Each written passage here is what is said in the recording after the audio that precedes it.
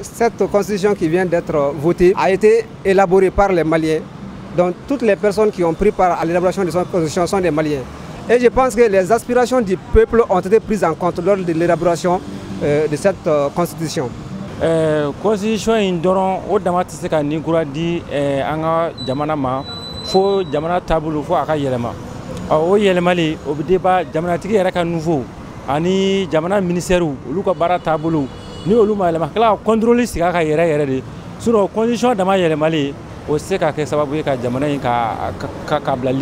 Je pense que avec euh, la création de l'autorité indépendante de gestion des élections, vraiment ça a beaucoup contribué à l'organisation de ce référendum.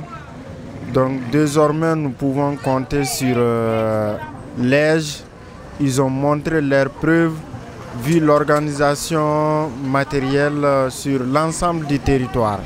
C'est les partis politiques qui doivent sensibiliser la population afin de relever le taux de participation pour les élections à venir. Et par rapport au référendum qui vient de se passer, je pense que c'est les partis politiques qui ont échoué à leur mission. Même si le taux de participation n'est pas aussi à la hauteur, mais c'est un référendum qui doit être accepté par tous les Maliens.